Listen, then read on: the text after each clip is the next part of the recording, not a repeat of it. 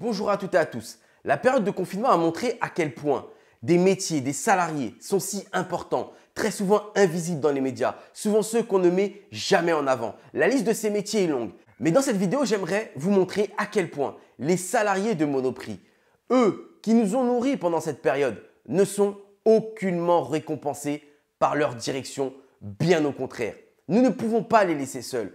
Ce sont des salariés très souvent précaires qui peuvent commencer parfois le travail à 6 heures du matin pour gagner à peine 1200 euros. Avec beaucoup de temps partiel et un salaire aussi bas, beaucoup de salariés doivent faire un petit travail à côté. C'est comme ça qu'on traite ceux qui font tourner notre pays. Cette année, les NAO ont été bâclés en trois réunions, avec comme résultat une augmentation d'à peine 5 euros.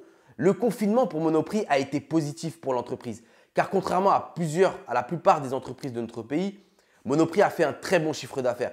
Et malgré cela, selon un membre du collectif CGT Monoprix d'Île-de-France, Monoprix a décidé de ne plus embaucher. Déjà, avec une carence de personnel, les salariés vont devoir faire le travail de 2 à 3 personnes.